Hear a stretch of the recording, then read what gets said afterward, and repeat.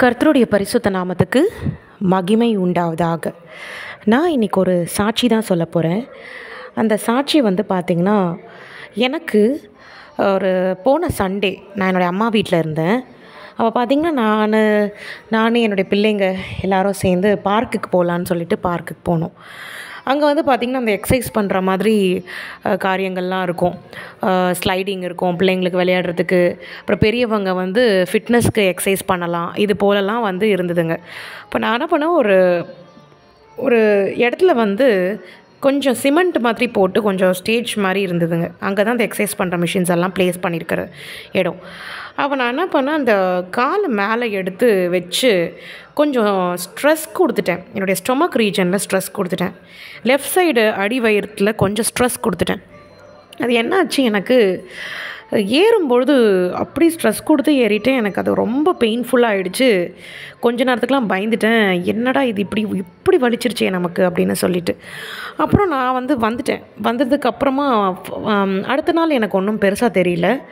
அப்புறம் என்னுடைய ஹஸ்பண்ட் வீட்டுக்கு நான் வந்துட்டேன். இப்போ வந்துட்டதுக்கப்புறம் இங்கே வந்து ஒரு ஒரு த்ரீ டேஸாக தொடர்ந்து அந்த இடத்துல வலிக்குது. வயிற்றில் வலிக்குது. அப்போது வயிற்று பகுதியில் இப்படி வலிக்குதே.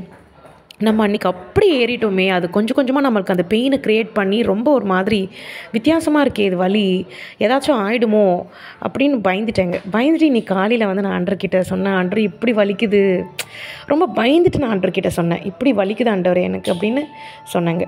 இப்போ ஆண்டர் எனக்கு ஒரு வார்த்தையை இது என்னவாக இருக்கும் அப்படின்ட்டு அவ்வளோ ஒரு கலக்கத்தோடு ஆண்டர்கிட்ட சொன்னேன். அப்போது ஆண்டர் சொன்னார் இது சரியாயிடும்னு சொன்னார்.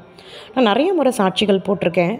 என்னுடைய சரீரத்துக்கு ஏதாச்சும் ஒன்று வரும் சரியாயிடும்னு சொல்லுவார். நான் கோல்டுக்கு மாத்திரை எடுத்தே ரொம்ப மா கோல்டுக்கு தான் மாத்திரை எடு எடுப்பேன். நான் வேறு எதுக்குமே மாத்திரை எடுத்ததில்ல. இப்போ கோல்டுக்குமே எனக்கு மாத்திரையே எடுக்க விடாத மாதிரி ஆண்டவர் எனக்கு மாத்திரைங்கிறதே எனக்கு வராதபடி ஆண்டவர் பாதுகாத்துட்டு இருக்கிறாரு நான் அது ஒரு சாட்சியும் உங்களுக்கு போட்டிருக்கேன். இப்போ இந்த ஸ்டொமக் பெயினும் எனக்கு ஆண்டு காலைல சொன்னார் உனக்கு சரியாயிடும் அப்படின்னு சொன்னார். அதே போல் நான் மத்தியானம் நான் வந்து ரியலைஸ் பண்ணுறேன் என்னடா இது? இருந்த அந்த வழியே காணாமல் போயிடுச்சே எப்படி வலிச்சதுனே தெரில வலியே காணாமல் போயிடுச்சுன்னு சொல்லி அவ்வளோ சந்தோஷமாயிடுச்சுங்க. இது என்னுடைய உடம்பை எனக்கு ஒரு டெமோவாக ஆண்டவர் மாத்துறாரு. உனக்கு ஒரு விஷயம் நடக்கும் ஆனால் நான் அதை சரி பண்ணிவிடுவேன் உனக்கு ஒரு விஷயம் இதுவாக இருக்குது அது நான் உனக்கு சரி பண்ணிவிடுவேன்னு சொல்லி ஒவ்வொரு முறையும் அந்த வார்த்தையை கொடுக்குறாரு. உனக்கு சரியாயிடும்னு அதே போல் அன்ற தினத்துலேயே சரியாகுது. இது வந்து ரொம்ப சந்தோஷத்தை கொடுக்குது. பயந்துட்டு என்ன ஆகுமோன்னு நினச்சிட்டு பயந்துட்டு இருக்கும் பொழுது அன்றோடைய வார்த்தை சரியாயிடும்னு சொல்லுவோம். அந்த வார்த்தை நிறைவேறும் பொழுது ஒரு டெலிவரன்ஸ் கிடைக்கிது. கொடா கொடி நன்றி ஆண்டவருக்கு. இது போல் என்னோட என்னுடைய சரீரமே எனக்கு ஒரு சாட்சி ஆண்டவர் வச்சுருக்கிறாரு. ஏதாச்சும் ஒரு சின்ன பெயின் எனக்கு வலிக்குது இல்லை வேறு ஏதாவது காரியம் நடக்குதுன்னா கூட உடனே எனக்கு அது ஹீல் பண்ணிடுறாரு. அது போல் செஞ்சுட்டு வராரு. ரொம்ப சந்தோஷமாக இருக்குது இது வந்து எல்லாருக்கும் இதே மாதிரி நடக்கணும். யாருக்கெல்லாம் வந்து ப்ரேயர் பண்ணுறோமோ அவங்களுக்கெல்லாம் இது போல் டெலிவரன்ஸ் கிடைக்கணும் அப்படின்னு ஆண்டர்கிட்ட ஜபிச்சுக்கிறேன். கர்த்தருக்கு கொடாக்கொடி நன்றி. ஆண்டவர் இப்படி ஒரு அருமை காரியத்தை செய்து கொண்டே இருக்கிறார். செய்கிறவர் ஆண்டவர் தான். வேற யா எந்த மனுஷனாலும் செய்ய முடியாது.